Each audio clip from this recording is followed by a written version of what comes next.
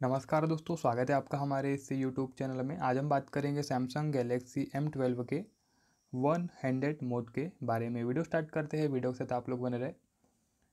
Basically feature एक हाथ से यूज़ करने के लिए बनाया गया है। जिसको यूज़ करने के लिए सेटिंग ओपन करिए। यहाँ पर आप लोग सर्च कर दीजिएगा one handed mode advance feature में हमें ये सेटिंग मिलेगी, इस पर क्लिक करिएगा। ये हमने ऑन कर दिया यहाँ से, इसको यहाँ से ऑन कर दिया।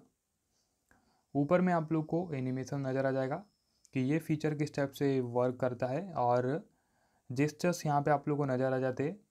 यहाँ पे आप लोग को एक जेस्टर्स मिलता है और बटन भी एक ही मिलती है, ठीक है ना? आप लोग को यूज़ करना तो ऊपर में जो एनिमेशन मिलता है उस टाइप से आप लोग अपने फ़ोन को करिएगा मोशन करिएगा। तो आप लोग के फ़ोन में वन हंड्रेड मोड जो है ओपन हो जाएगा और आप लोग काफ़ी आसान तरीके से जो वन हंड्रेड मोड को यूज़ यहाँ पे कर पाएँगे। उम्मीद करते हैं आप लोग को वीडियो पसंद आएगी। जय माता दी।